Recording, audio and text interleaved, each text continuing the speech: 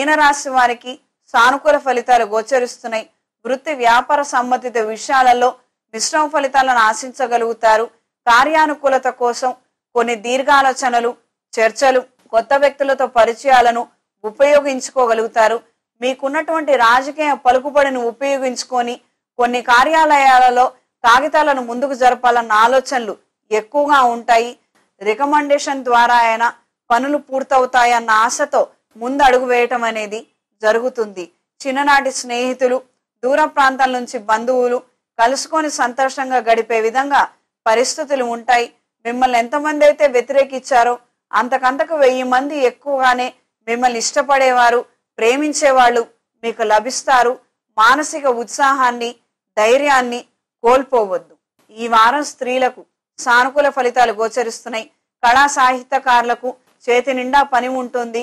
కార్యాలయంలో ఉన్న ఒత్తిడి కారణం చేత బీపీ షుగరు థైరాయిడ్ ఈ ఒబెసిటీకి సంబంధించినటువంటి సైడ్ ఎఫెక్ట్స్ రావటము ఇండైజెషన్ అవటము రకరకాలైనటువంటి ప్రయోగాలు చేసైనా ఈ యొక్క అనారోగ్య సమస్యల్ని కట్టుదిట్టం చేయాలన్న ఆలోచనలు ఎక్కువగా ఉంటాయి. ఎంత టైం కుదరనప్పటికీ వాకింగ్ కోసమైనా మనం టైం స్పెండ్ చేయాలి. మన ఆరోగ్యాన్ని మనం రక్షించుకోవాలి. ముందర భవిష్యత్తు చాలా ఉంది. అనారోగ్యం ఈ రోజున వస్తే చాలా ప్రమాదం అయిపోతుంది అన్న ఆలోచనలు ఉంటాయి. ఆర్థిక పురోగతి బాగుంటుంది. రావాల్సినటువంటి డబ్బులు త్వరలోనే రాబోతున్నాయన్న విషయాన్ని తెలుసుకోగలుగుతారు. నూతన శుభకార్యాలకు సంబంధించిన విషయ వ్యవహారాలలో మీ మాటను నెగ్గించుకోగలుగుతారు.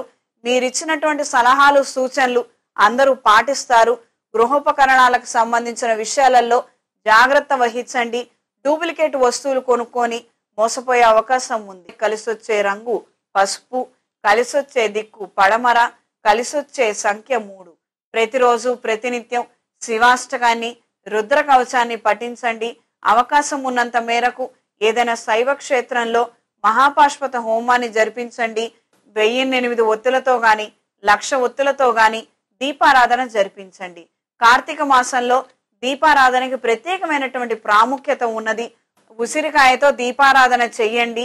ఉసిరి దీపాన్ని దీపదానంగా ఇవ్వండి.